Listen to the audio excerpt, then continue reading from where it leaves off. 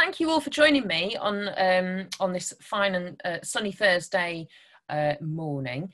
Um, thanks to Rachel and Claire and Joe for setting it up um, uh, from the Council for British Archaeology. The first thing that I want to do is remind you that if you have any questions as I'm talking, um, do put them into the Q&A um, little box at the bottom of the Zoom and you can type it in, type in the question, and then we'll have them all in a list so we can make sure we don't miss any at the end. And then the other thing is, um, I'm going to do a couple, not loads, but a couple of little polls. So to get us started, so that you're, um, you know, you've got your fingers, your typing and fingers and your thinking brains ready.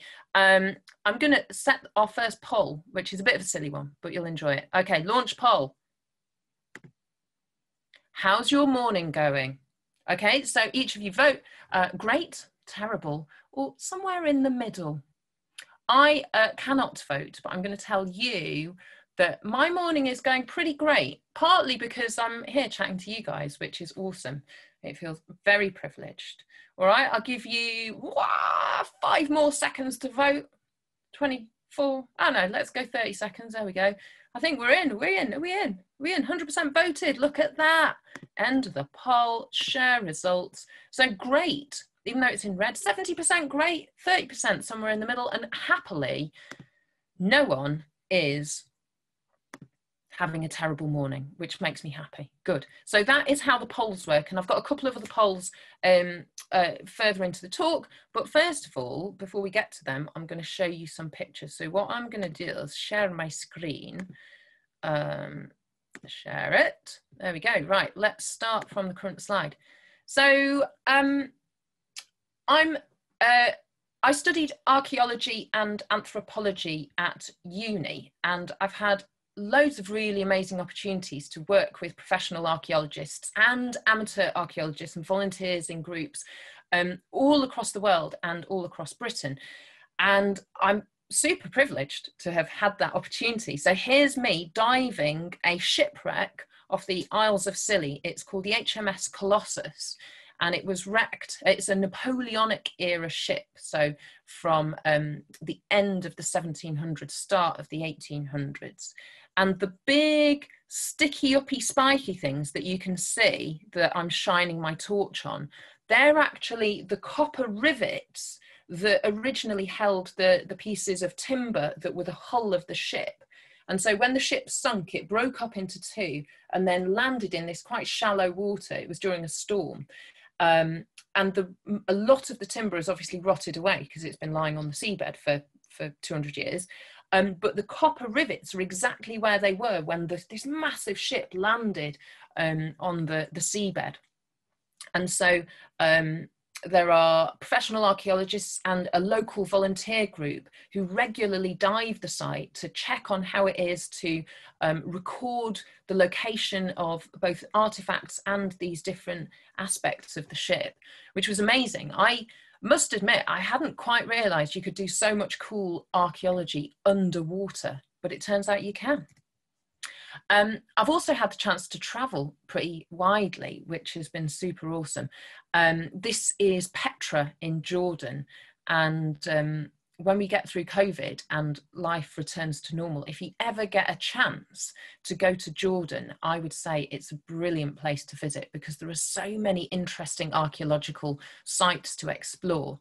Um, recent ones around the First and Second World Wars, but also very ancient ones. These are rock cut tombs. You can see the the little square shapes, the little doorways in the um, in the sandstone cliffs behind me um, they are all uh, tombs um, that were used um, in uh, about three. Oh gosh, I can't remember the, the date now. Oh, shame on me. Um, I'll get back to you because it's totally gone out of my mind the date of these caves. If someone knows, put it in the chat. That would be cool.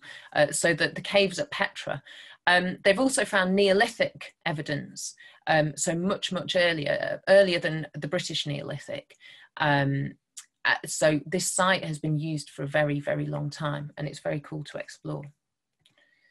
And I also uh, quite recently went to Tibet. Now, Tibet has really interesting archaeology. It's, it's sometimes known as the roof of the world because it's uh, so high up. The altitude, um, when you fly in, it's about 4,000 meters. And so you, f- just under 4,000, about 3,600 meters. So you feel quite breathless.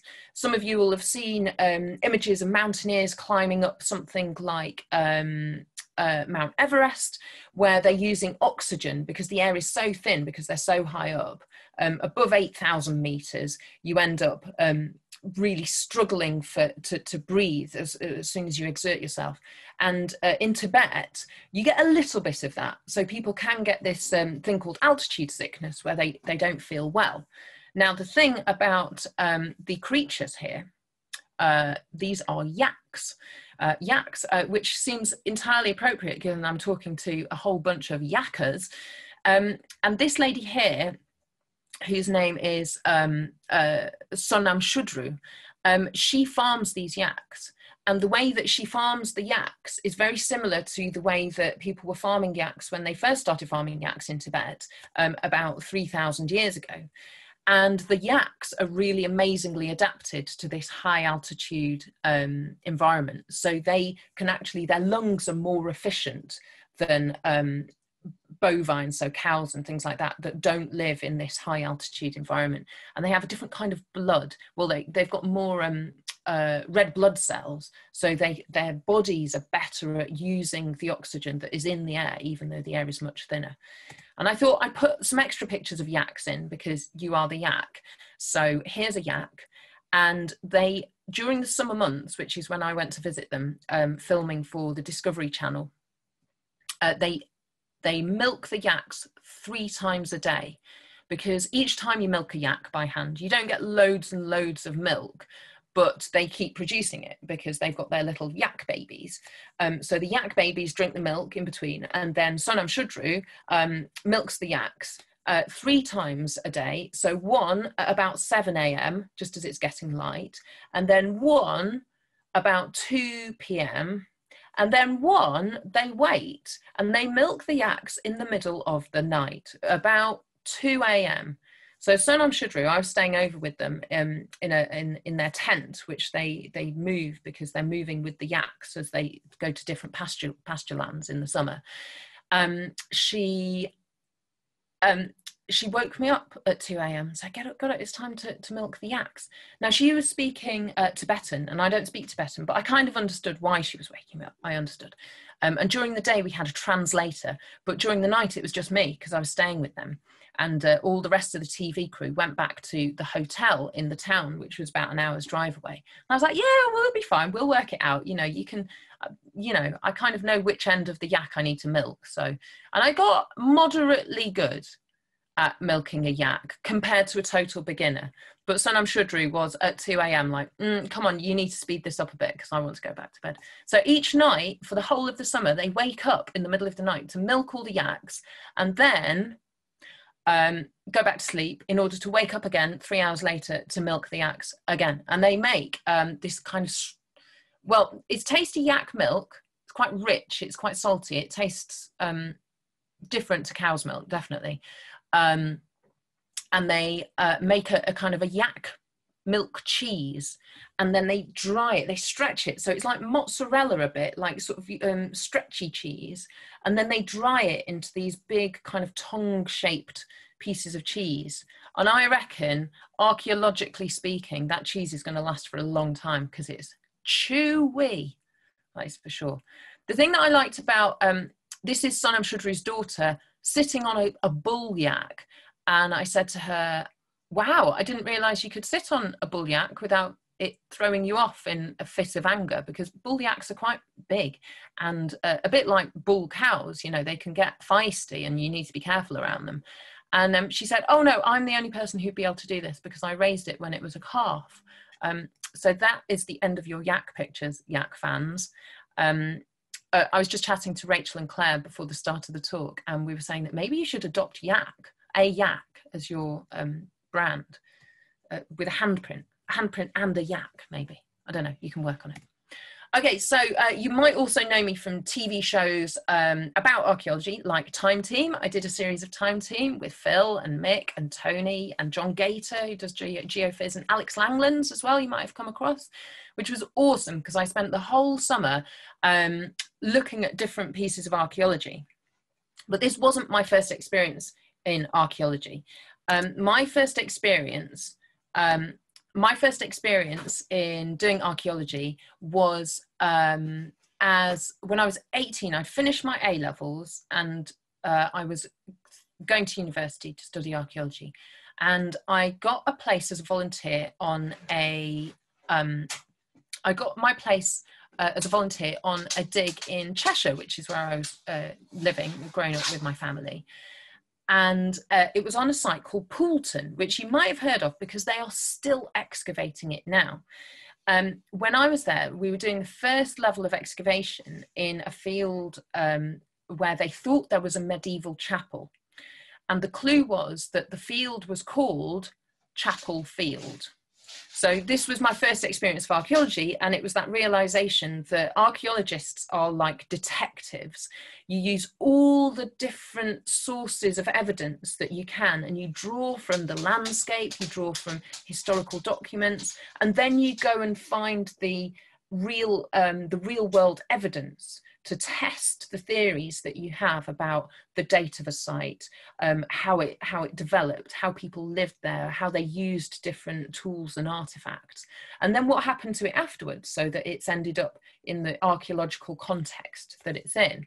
And obviously, for you guys to be part of the Young Archaeologists Club, you are you still you will have that the detective mindset of trying to puzzle out questions about the past and I think it's it's thoroughly fascinating, and I absolutely love archaeology for that reason because you get to be a detective of the past and about people's past lives.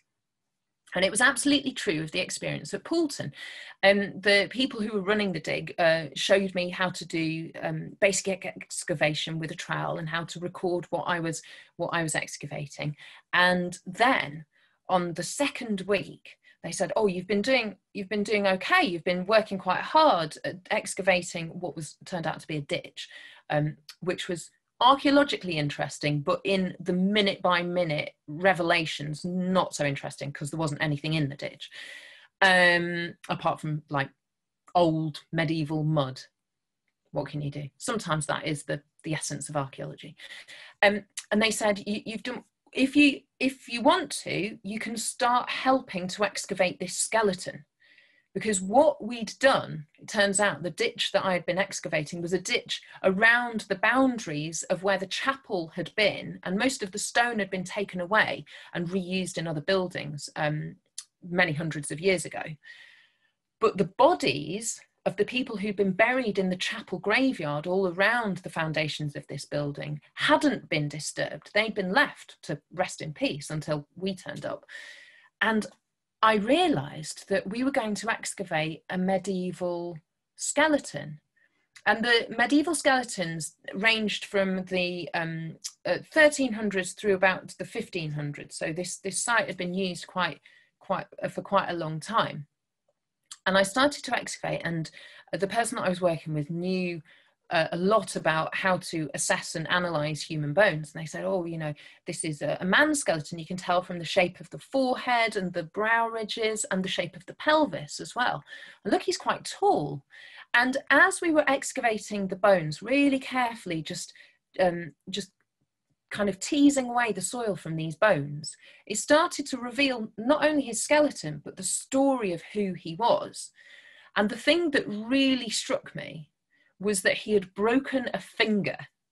And you could see it because his hands were laid, you know, you must have seen um, skeletal hands. Um, but this finger was like bent like that. So the other, the bones, this bone had fused. I'll do, show you that way. This bone here had fused into a kind of hook because this joint had broken and then the way it had um, healed up together um, meant that he had kind of had this kind of gnarly finger for the rest of his life. And they said, oh, it's healed very well. So he must have broken his finger when, I don't know, when he was kind of a young man perhaps, but he's died when he was about 60. So he, he kind of lived a, a decent life as a medieval farmer. and the thing about this broken finger, it, it made my imagination run because I thought not only is this a skeleton, a, a, particular individual, but this evidence tells a story about how people were living in medieval Cheshire. It tells people, it tells us a story about how what people believed and that they were being buried east to west, um, near, next to a, a Christian chapel. But it also tells a story about, you know, how did he break his finger? What was he doing? Did he get? Did he trip over? Did he trap it in a door? Was he? Did he have a farming accident? Maybe he had a fight with someone. And all the possibilities, all the human possibilities about this man with his broken finger were there for us to explore and to excavate and find out more. And the amazing thing about Poulton is that by the end of that digging season, not only had we identified the medieval chapel and started to excavate many of the medieval graves and build a picture of the population who had been living in this site, but they've carried on excavating because towards the end of it, they started to find Roman things. And in some of the um, the, the fill of the grave, so the soil that has been put back into the grave after someone's been buried, they'd found little pieces of flint tools from um, the Neolithic and the Mesolithic. So the Neolithic, the late um, Stone Age, um, about 4000 BC to about 2500-ish BC, and the Mesolithic, which is when people were hunter-gatherers coming just after the end of the Ice Age, when Britain was first um, habitable permanently and people walked across what is now the English Channel from what is now the Netherlands and France, um, and they walked across um, and settled in, in Britain, and they were hunting and gathering rather than farming. And they used flint tools as well as bone and, and wood and antler as well. But the flint tools tend to survive better than, than um, all the organic materials. And so what they'd done was um, those flint tools had been scattered about, just left for thousands of years since they were first dropped by someone in the Mesolithic in, I don't know, 6000 BC. But then, when the medieval people were building their chapel and burying their loved ones in this graveyard, when they were shoveling the soil in, sometimes they would incorporate a very ancient um, tool that they probably didn't even notice because they were thinking about, you know, burying their, their loved ones.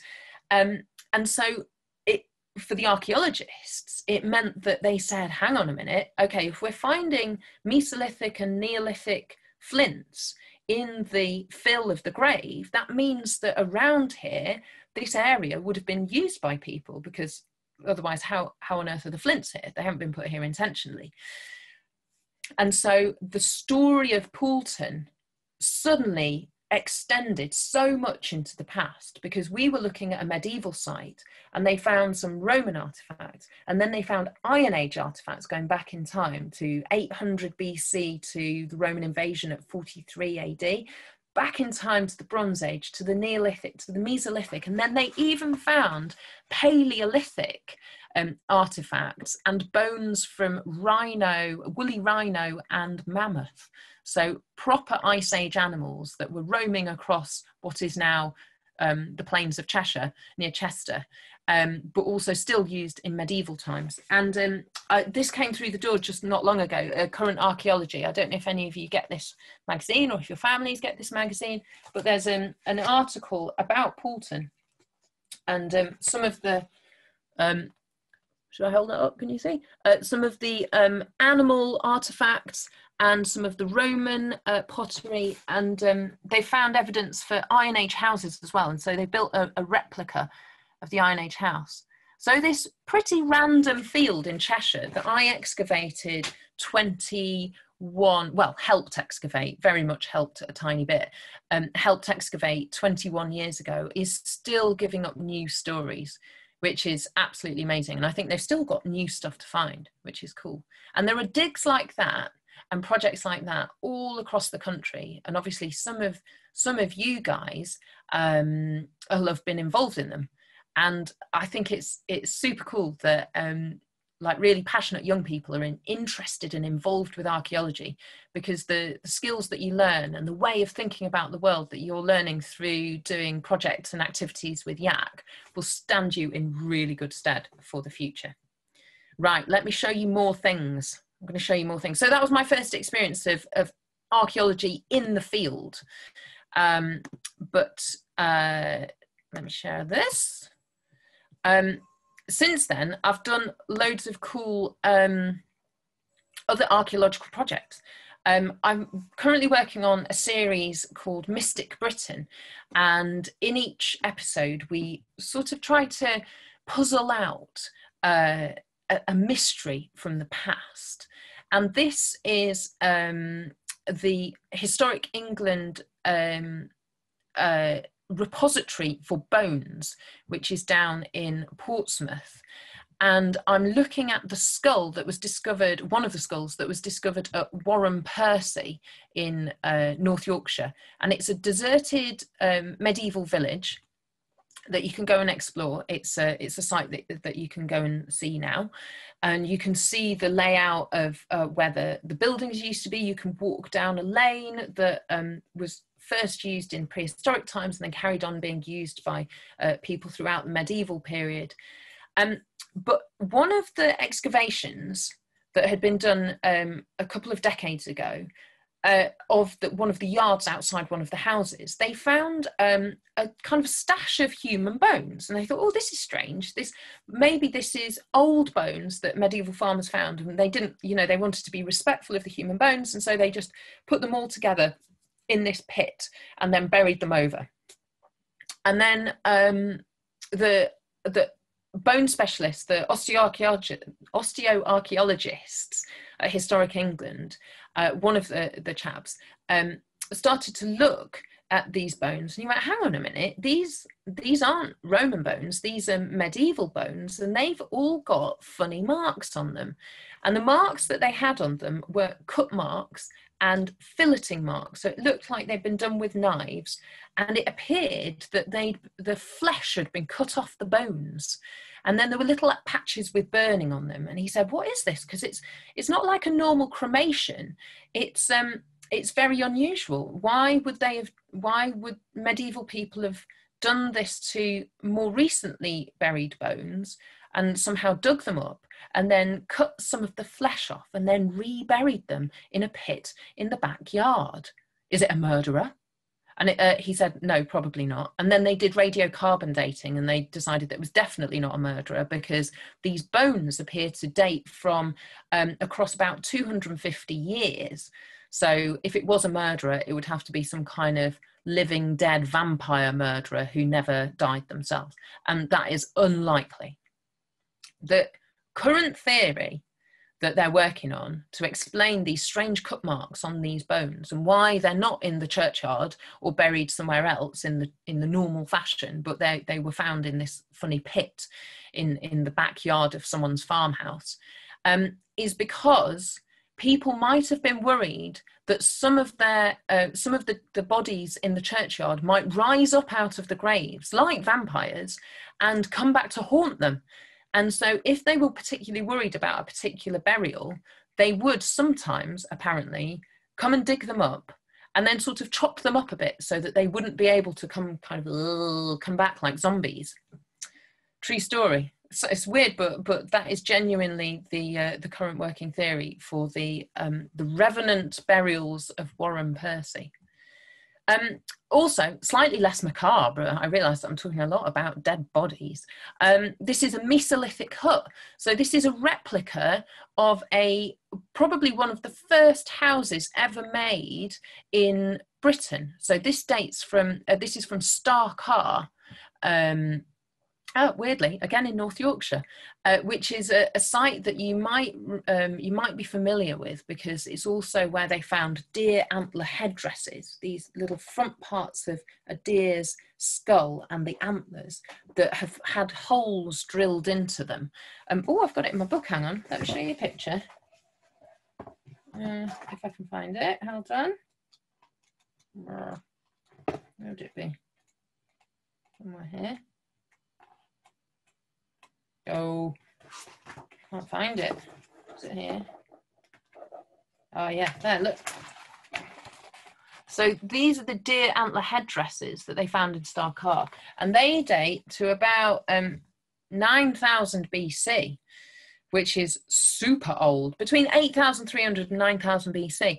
Um, and the reason they've survived is because they were in really waterlogged um, land on what was once the edges of a lake. And so all this organic material that would normally get rotted down um, has survived. And the reason they found evidence for these little houses, they think, is because they found post holes and then a flat, smoothed area. So they're like, oh, that looks like a hut circle. And so this chap is actually from uh, the Netherlands. I've forgotten his name. Um, and he's a specialist in doing experimental archaeology and they use the exact same tools and the resources that they would have had available on the site from that period. And he built this really cool it's sort of like a shaggy teepee. So it's thatched all the way down with this little arched um, arched door and that would keep out the ice age chill on the edges of a lake. Um, and it was very beautiful. It was very beautiful and quite comfortable in there. I, uh, after we finished filming, I sat and ate my sandwich inside the Mesolithic hut, and it was um, it was quite it was quite a nice place for a picnic. And here I am, dressed up as Boudica because why not? Um, so we we did another episode of of Mystic Britain, uh, looking at, at, at, the the kind of the, the the timeline and what happened to Boudica. So after the Romans invaded in the year 43, Boudica, who was the queen of the Iceni, uh, who were the tribe living in Nor- what is now Norfolk, um, they were, she was, um, uh, her husband died, and then the Romans took all their land and um, uh, harmed her and her daughters and she rose up. They thought that that was going to be it, that she was going to be kind of just go away and stop causing trouble. But she rose up and she started a rebellion um, from all the, the, many of the native people who were already living in Britain, the tribal people of the Iron Age, um, against the Roman army. And they marched. They they destroyed Colchester, what is now Colchester. They destroyed what is London. They destroyed St Albans, and then they started marching north to a place that we think is possibly where this final battle was held. Um, so we're standing in a field near Mancetter um, in the Midlands, and um, this chap was dressed uh, in in the kind of the the replica but authentic um, garb of, of what a Roman soldier would wear when they were fighting in in Britain in Britannia, and um, I'm wearing what possibly looks like a picnic blanket, but again, sort of potentially is, is what uh, Boudica would look like. So um, much more organic fabrics, um, none of this fancy uh, Roman chainmail, and the Romans with their their kind of um, uh, much more um, standardized weapons and shields and systems of fighting that they would build a shield wall and then they would stab through with their short swords. Whereas the iron age people weren't used to they weren't a professional army. They just gathered up because they were so angry about how the romans were treating them. Um, and unfortunately well unfortunately or fortunately depending on which side of history you want to fall on um, and her army were um, defeated. And we don't actually know where Boudica ended up because we don't have any written records from the Iron Age people themselves. We only have written records from the Roman historians who were writing about what happened and they were writing um, they weren't eyewitness accounts they were writing much later. And often with these kinds of historical accounts what you end up with is the romans going oh well it was a very good battle and we were very very good. Oh the other the, the the people we were trying to beat. Now they'll go one of two ways. One they'll either say they were very fierce but we were better. Or they'll go they were like animals and they were absolutely nothing to worry about whatsoever. But either way you have to be a little bit suspicious, a bit cynical perhaps about those historical sources because, as you know, with history, it's written by other people and other people have their own agendas, their own ideas, they have a particular story that they want to tell. So they say there's two Roman writers um, who write about what happened to Boudica at the end of this battle, and one of them says that she um, she drank poison because she was humiliated in the defeat.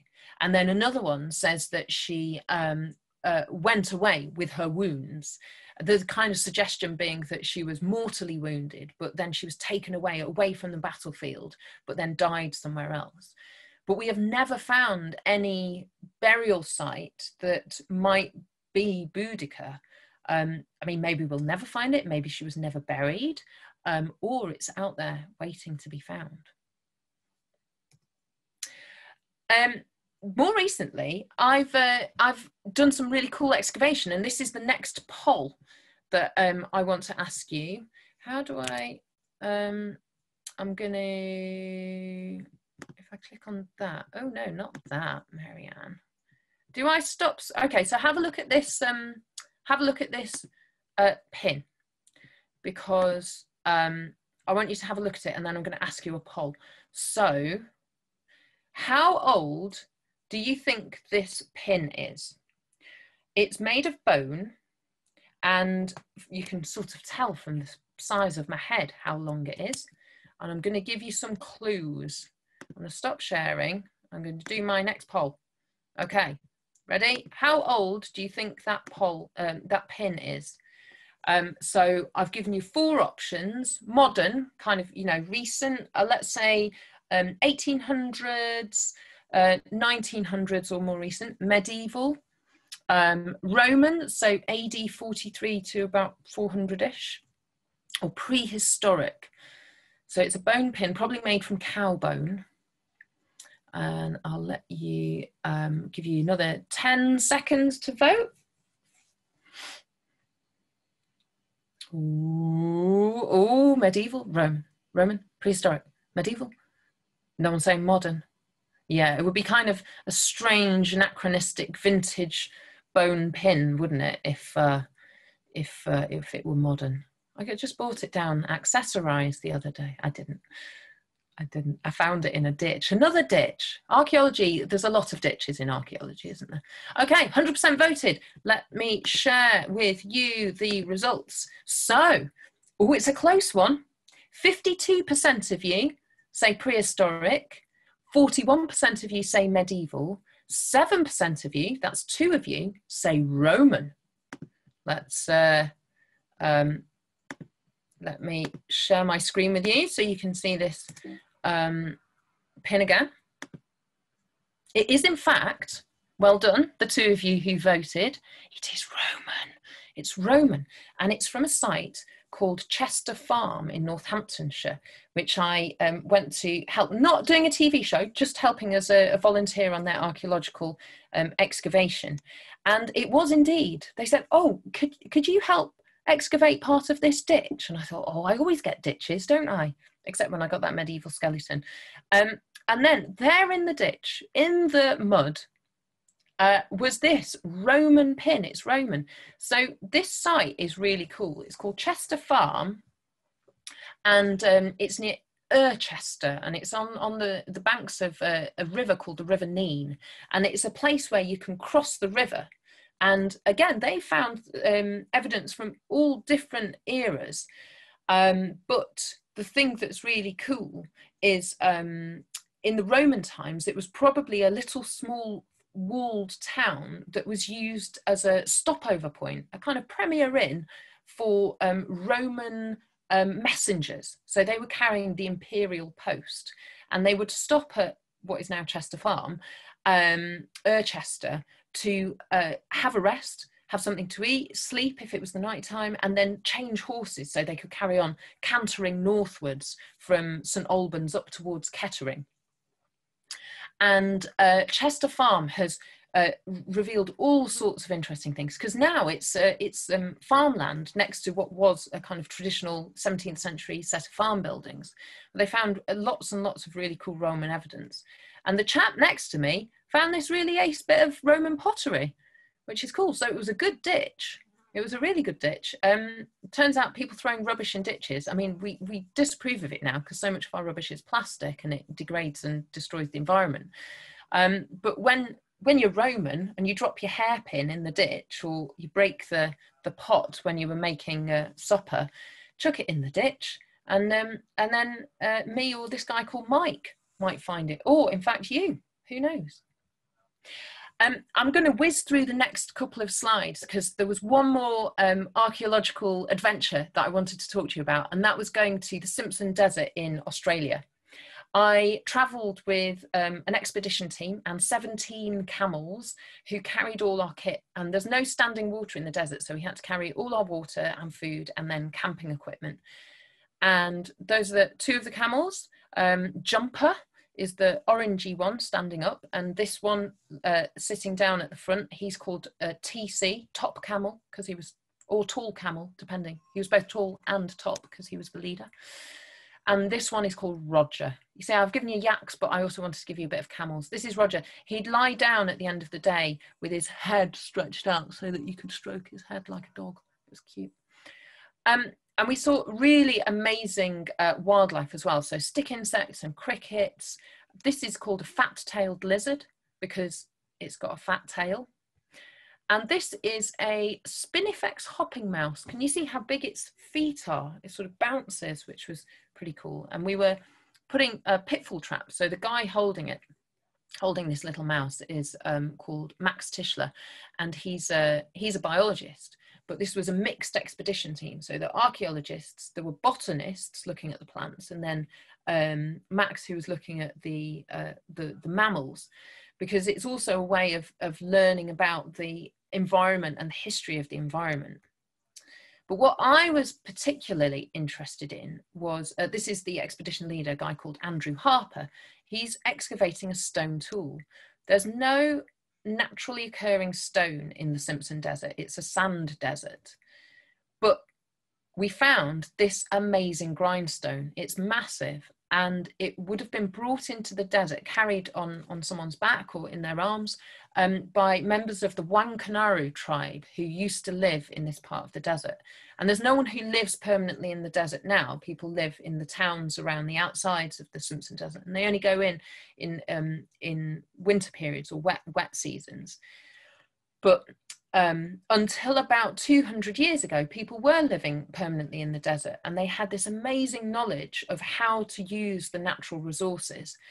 But they would never be able to find stone and so they had to bring stone in and then they would stash their grindstones so that they could use them to grind seed or grain that they would find and harvest naturally um, and it was an amazing experience because it was a totally unfamiliar environment for me um, but the experts who were around me were able to pull out the evidence of, of how the Wangkangurru might have been using these environments.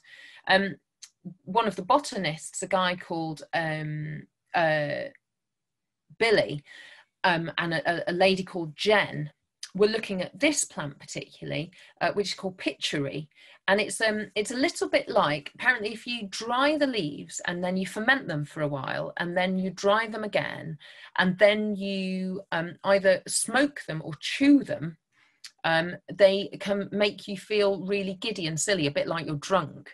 And apparently, um, the Wangkangurru people like to use pituri and grow it. So they would cultivate these natural stands of pituri, um, but they would also trade it. So by tracking where this pituri was growing and knowing where the trade routes across Australia were before um, white people turned up, um, the, the archaeologists in Australia are being able to plot the networks of trade and exchange and how ideas and people were moving across these vast um, desert areas that otherwise you might go, oh, there's nothing there except for kangaroos. Um, no, the people who uh, have been living in Australia from about 40,000 years ago um, knew how to use this environment. And it's actually a, a human landscape as well as a, a, an amazing natural landscape. So that was a real privilege to be able to learn a little bit about the archaeology of, uh, of the desert in Australia.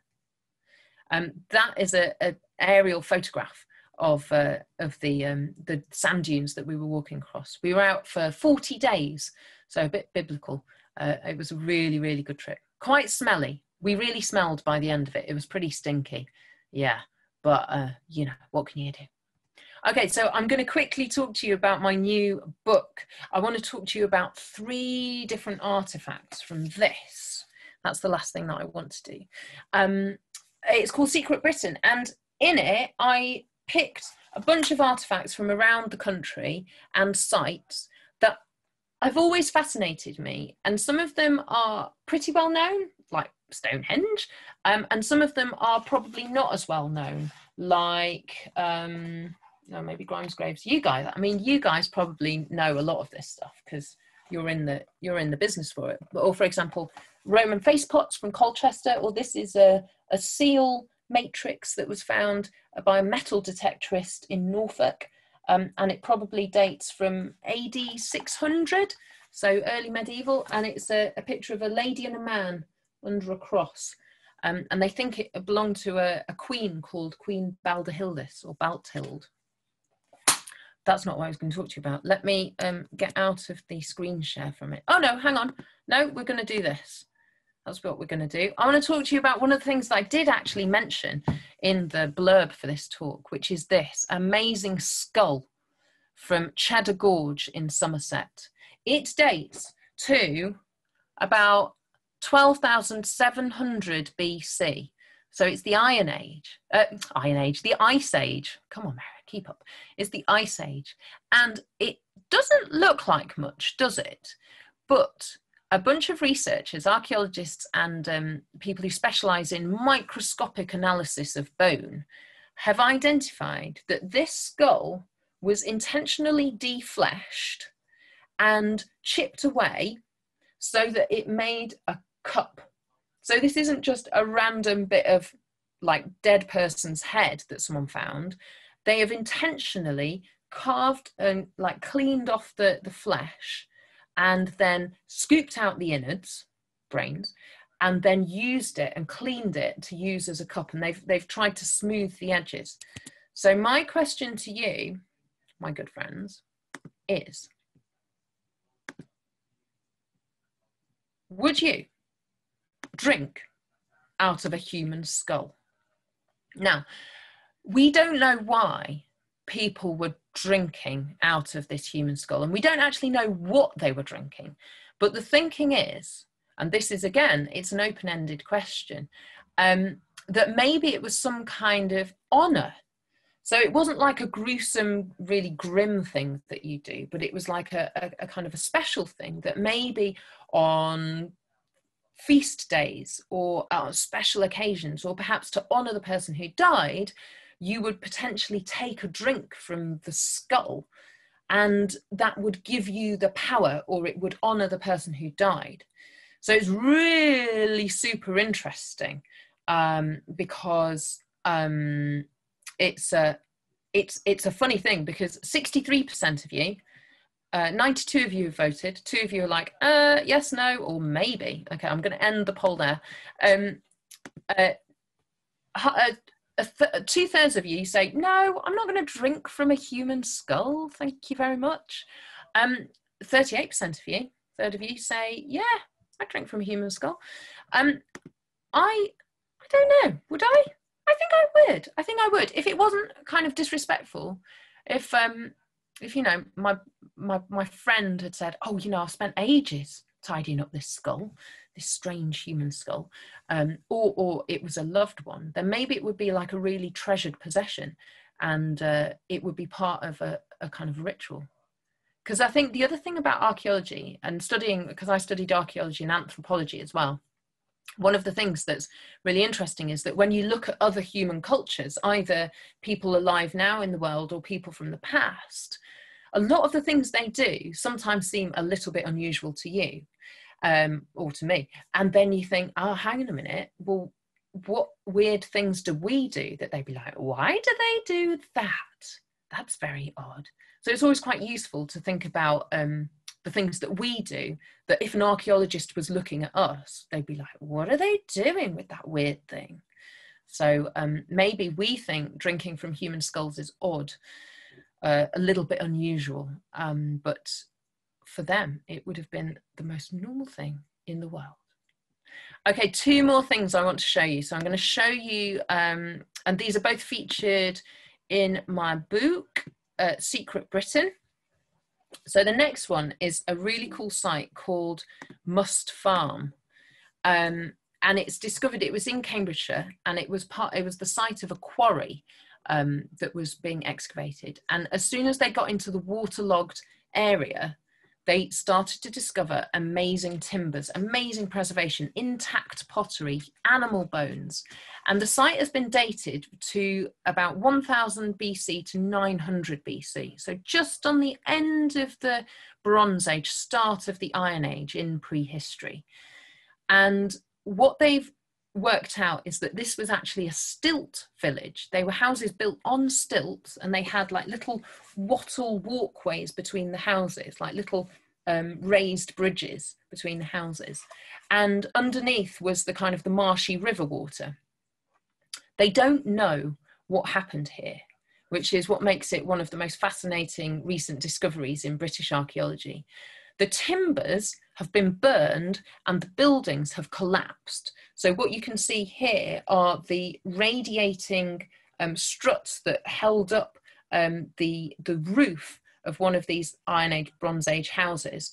And then when it started set on fire at a certain point, it collapsed in on itself and it all landed on the, the, the bottom of the river. And underneath this collapsed roof, they found intact pottery, they found tools, they found weapons, they found um, bundles of, of twine and, um, and cloth. And most of this stuff you never see because it's all rotted away. But in Must Farm, the preservation has been extraordinary. And if you go online, they've got really good resources for you to be able to see some video and photos of some of the artifacts that were discovered. And they're still working on them now. The thing about this is that it appears, the whole village appears to have burnt down and then been abandoned quite soon after it was built. And the thinking is that obviously fire would have been very devastating. Um, it would have destroyed your your. Uh, they didn't find any human skeletons, so they don't think anyone was trapped in the buildings. No one died during the fire. But no one came back to try and retrieve their tools, their swords, their their scythes, all the farming equipment. They didn't come back to come and get their kitchen utensils and pots. It's really interesting because they think, well, where did all the people go? And the answer is we don't know. Were they chased away by another um, group in a, a neighboring village? Did something terrible happen and they said, right, that's it, we're going to go? Or had they already left? And they were leaving because of something that had happened and then they set fire to their own village? We don't know. The archaeology can tell us a lot, but it can't give us all the answers, which makes it pretty fascinating. And then finally, this is like a challenge for you guys, I guess. Some of you might recognize this. This is um, one of the Aberlemno stones, and it's from Aberdeenshire in Scotland. And on it are Pictish symbols. Um, this particular stone is called the serpent stone because can you see at the top it's got that sort of snaky loop shape. So they're calling that a serpent. They say that's a snake. And then below it is a big kind of big zigzag then with two um, joined circles. And that's called a Z rod. And then right at the bottom um, is a mirror shape a sort of looking glass mirror, like an old fashioned fairy tale mirror. And just next to it is a kind of funny little rectangle. And um, that is a comb. So that's another type of Pictish symbol, which is the mirror and comb, and they tend to come together. Now, we don't know what these symbols mean. They date from about the 500s to the early 600s AD, and they were probably used by Pictish kings, Pictish leaders, or elites, queens and kings, um, possibly as name, possibly as, as nameplates, sort of big stone names. So we don't know what serpent, double disc and Z-rod and mirror and comb mean because no one can work out the Pictish language completely. Um, and it doesn't feel like a complete language. There aren't enough symbols. But my challenge to you is um, perhaps to, if you want to, if you want a kind of cool um, a cool uh, challenge for the afternoon is, is go and have a look at some of the other Pictish symbols. And um, I mean, I don't think you'll solve the, the puzzle of what they say, but you might be able to be creative with, with something that was first established um, 1500 years ago, 1500 years ago, and you could write your own language in, in Pictish symbols and attribute meaning to these different strange symbols and uh, and perhaps write your own name headstone, which would be pretty cool. So um, I'm going to just go back to share screen. Oh, hello. So the last thing that I want to say is just that um, if you wanted to get a copy of Secret Britain, it's got um, 75 really cool artifacts and sites uh, around Britain. Uh, there's a special deal um, at the moment for you guys. Uh, so if you're a YAC, um, a YAC member, you get a YAC special, and that um, is available. It's £18 and I'll sign a book and send you a message and uh, post it out. And you can find the link on my website and it's also on the blog, I think, that um, YAC and the CBA have put up. So final, final thing I was going to show you was the mandrake. And I've just taken the page out and now I can't find it. Oh, there you go. So last thing, let me come back to me. Hi.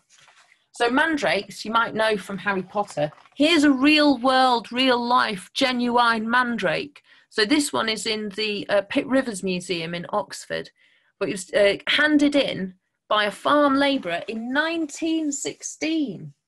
And it turns out that it's not actually a mandrake, which are those roots that appear to be alive, like little people. Look, it does look like a dolly, doesn't it? Um, this is actually a bryony root, but the man who owned it thought it was a mandrake and he thought that it would keep him safe in his house. So he used to wrap it up and put it on the windowsill as like a little magical talisman to keep him safe. And then he realized that it was an unusual historical artifact, and so he handed it into the museum. Isn't that cool? So archaeology can sometimes be from the Ice Age, and it can also be from 1916 in Oxfordshire, and uh, it continues to to develop. And there are so many cool things to explore. And I'm really excited that you guys are, um, are, are, part of the, the next generation. Whether you go into archaeology professionally, whether it's just a cool hobby and a way of, of exploring the past and where you live and, and how culture works, um, I, I think it's really awesome. And it's been really, really fun talking to you this morning. Thank you. Thank you, Mary-Ann. That was fantastic. I was I've really... left no time for questions. I'm so sorry, guys. I chunted on a bit, didn't I? We do have some questions. Um, if people want to hang around for 10 minutes or so. Yeah, let's do it. Let's do it quick. Um, go, go, go. okay. Um, so we'll start with Evie. So Evie asked, what got you into archaeology and when did you first start? Oh, that's a good question.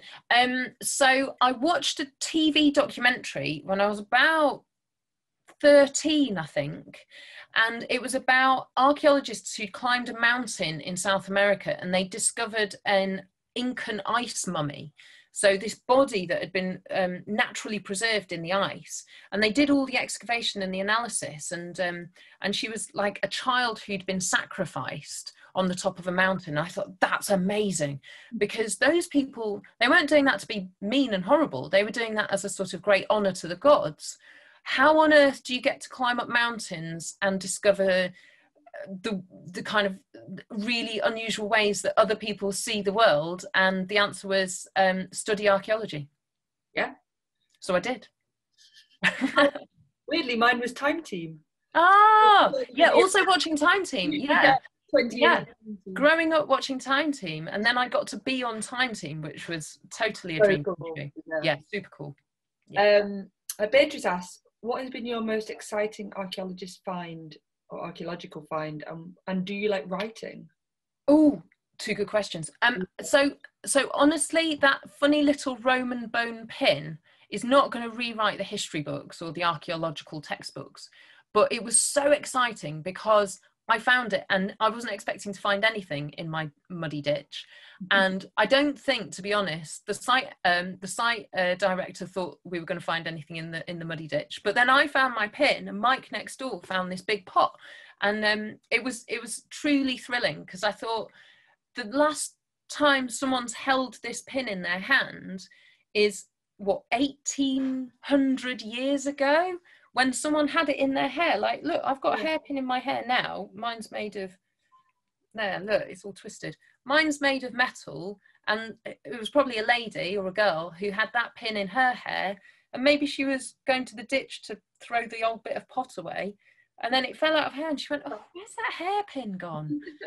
And then i'm the next person to hold it 1800 or so years ago. I mean that is pretty cool. Yeah that's awesome. Yeah Um, what else? Oh, do I like writing? Um, I sometimes get a bit lonely, but I do really like talking to people about the things that I write about. So mostly yes. Once it's written. Yeah, exactly. Yeah, exactly. Um, Daniel wanted to know um, what the buildings behind you in Petra were. They're, they're temples, aren't they? Yes. So I'm gonna. I I didn't. Isn't that terrible? I still can't remember the dates of Petra. Ugh. Um. help me. um. So it's uh. Oh, hang on, hang on. Who built Petra? Give me a date. Um. Okay. So about 150 BC, and it was a, a city um uh, built by the Nabateans and so they were people who were living in this area great traders so they had huge trading networks right across um, uh, from greece on one side right across to what is now iran sort of persia on the other side. Um, so about 150 bc there you go. Um, we've got two very similar questions. Okay. Um, what is the weirdest most bizarre or strangest thing that you found? Oh, okay. So I didn't find them, but I got to obviously make the TV program for Mystic Britain about that weird pit of bones in Wharram Percy. I mean, that that was pretty odd because when you're talking to, um, you know, sensible professional archaeologists and scientists, and they're like, we think it's because they thought they were zombies. like, really? Are we? is that definitely true? That sounds a bit far fetched, but that is genuinely like they thought they were revenants and that they were going to come back and haunt them because their spirits were unsettled, and so they they kind of like cut their bones up and you know put just to make sure. in a fire. Yeah, it was a bit weird, pretty weird. Um, you also find really super weird um, uh, sort of burials in the, from the Iron Age as well where people are kind of buried in ditches or they have their uh, Roman burials as well, where they've, after someone has died of natural causes or whatever, they cut their head off and they put their head somewhere else, just in case, so they don't come back and cause trouble. I believe, uh, really... I believe Claire actually um, found a, a, body that was like that, where the head had been been tipped up. so, so obviously not laid flat, but the, the head was sort of skull up, and then the then the skeleton. Oh, that's pretty cool yeah. Cool. yeah. I mean i think it's it's really awesome that because we're all archaeologists we can just like really geek out on gruesome gruesome things and go wow so what they did was they took their head and they turned it upside down. They put it under their bums and then buried them. And you hmm. go that's that's a good day at the office that that's science that's chat in the camp afterwards yeah um, on the point of schools, uh, Zara asked, wasn't one of the Romantic poets' most famous accessory a mug made of a skull? Oh, was it Byron or something? Byron, yeah. They were all pretty weird, weren't they? Yeah, yeah. and the guy who um, excavated uh, Paviland Cave, which is where the earliest human burial was discovered, which is in uh, Gower in South Wales, um, he apparently had a table that had petrified um, poos, so coprolites, like embedded into it, sort of like a, a weird mosaic, a poo table. weird. Archaeologists are quite odd sometimes, but you know, in a really, really fun way. in a pooey way. Yeah.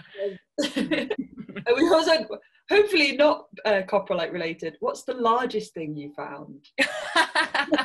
yeah, not not coprolite related. The largest thing. So I'm not a field archaeologist, so I often don't actually do the finding. Um, it's it's you know I'm standing next to people who who do the finding. Um, the largest thing I've ever found.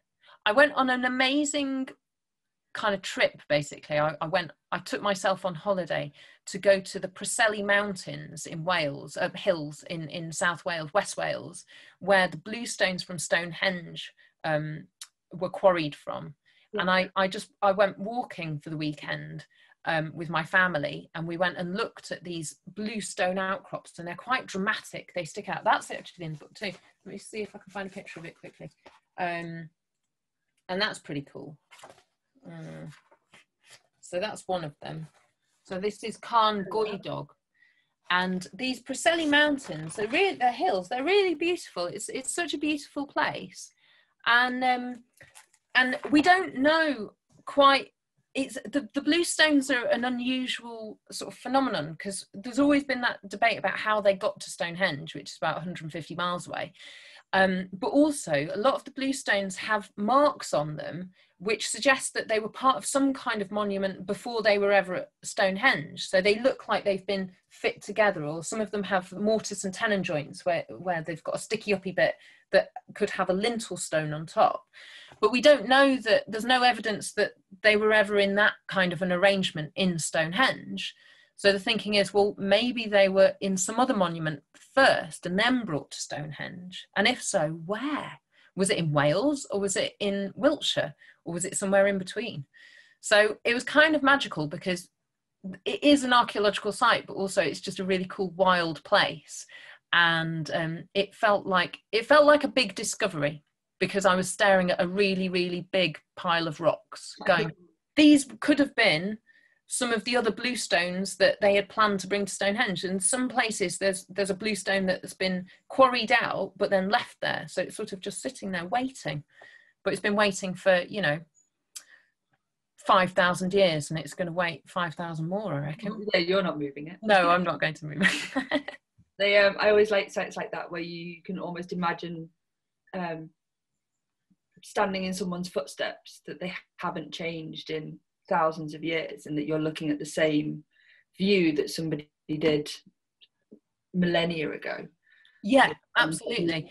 And and you don't need to go to wild west wales to do that. If you're walking down a, a footpath and and you feel that the sides of the the grassy banks are rising up either side of you you might be in an ancient holloway you know, which has been used as a track by people for hundreds, if not maybe thousands of years. And, and you are absolutely in the footsteps of the ancestors. Yeah. And I think there's a lot to be said for sort of trying to make your own Neolithic pot and working out what, what marks a shell makes in, in wet clay, or how would you um, cultivate this field? How much effort would it take to take all the stones out to build that dry stone wall? All those kind of landscape things they they do inform us don't they? They help us understand because people in the past were people. I mean they're not like us. We didn't have smartphones and you know waterproof raincoats. Um, but they they ha- were still tackling the same problems. And so i think it's always useful to put yourself in their shoes and go well what would i do? Yeah. or how how does it feel when i walk on this route or stand at the top of this summit or go into this tomb? or what have you Oh, Elsie's just asked an interesting question. Could they have moved the blue stones from one area to combine with the Stonehenge to amalgamate two tribes? A really good question. A really good question. And they're doing ancient DNA analysis of some of the cremated remains that have been found at Stonehenge. And they found that a lot of those people grew up, you can do isotope analysis from your, your bones and teeth. Um, and it gives you an idea of what kind of geology, what kind of land you were growing up on. And so it seems pretty clear that some of the people who are buried at Stonehenge grew up in West Wales, probably from a similar area to where the Bluestones were quarried from. So it may well be some kind of ongoing connection. It's not that the people at Stonehenge bought the stones from West Wales because they were like, oh, we hear you've got some hi, uh, we hear you've got some really good blue stones and we need some for our monument. So could you just send them over? Oh yeah, shipping, yeah, uh, and delivery on Wednesday. Great, thanks. It wasn't that. It may well have been two groups or two communities who were connected in lots of ways. And one of the ways they were connected was that people were moving. Maybe people were getting married between the different tribes, but also they were building a monument together or sharing some kind of sacred um, worldview. Fab. Yeah. We've got it's good though. So many, again, so many unanswered questions. Stonehenge has been studied and studied and studied, but the more we study it, the more questions are raised. So yeah, we're never going to run out of questions about Stonehenge. Keep thinking about your ideas though, and and what you think, because investigating those is how we come up with new answers absolutely yeah so it's not repeating what other people have thought but going hmm okay that's interesting have we thought about this evidence what about that Um, and as scientific um, techniques develop, um, as you guys grow up, um, more things will be able to be discovered from the artifacts that we've already excavated and from the landscapes that we already know about, as well as identifying and detecting new ones. Yeah. So, um, yeah, back in the day, they didn't think they'd be able to do any analysis of, of cremated bone because they thought the cremation fires when people were, were, were, were cremated would have destroyed all the useful information. But now we can do DNA profiling and we can do isotope analysis and all sorts of cool stuff from tiny, tiny little bits of bone now. Yeah. Yeah. Fab. Yeah. I, that might be everything. Thank you so much. Thank uh, you. Sorry to keep you guys uh, waiting. Uh, waiting, waiting for your lunch, I guess. um, I've really enjoyed it. It's been really, really fun. Um, yeah, so if you want to get a copy of uh, Secret Britain, uh, if you go to my website or um, uh, uh on the YAC blog, there's a link.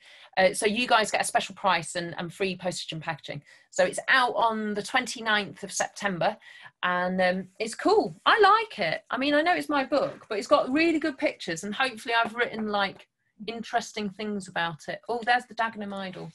That's a cool weird thing. Look. Ooh, they found it in the River Thames. Weird, right? um, all sorts of cool stuff. So yeah, if you fancy getting a hold of it, or you know, good Christmas present, but um, or find it in your library, or yeah. Yeah, there's a link to it on the uh, YAC site, um, and on the topic of making pots and testing out your ways of doing it on the YAC site, we've got lots of things to do and resources, and uh, you can make poo, which is oh, how do you make poo? Uh, with lots of slimy ingredients. Uh, Lovely. have a look. Take a okay, look. Brilliant. So if you do, if you're feeling creative this afternoon, or you want something to do, take a look and yeah, get. Yeah. Cracking. I'm gonna put um I'm gonna put the link uh up here as well. There you go. So that's the link for the book. Um, yeah, or, or uh, make up your own Pictish symbols. So if yes. you Google um, uh, Pictish Aberlemno stones and the Pictish symbols, then you can work out, you can decide that you want to be a serpent, Z-rod double disc, um, chicken. Chicken, I like it. Mary-Ann, that's how you yeah. write Mary-Ann, obviously. Thank you. Thank you, Mary-Ann. Thank you, everyone that attended. Amazing, guys. Thanks so much for coming. Uh, all the best and uh, see you soon. Bye. Bye.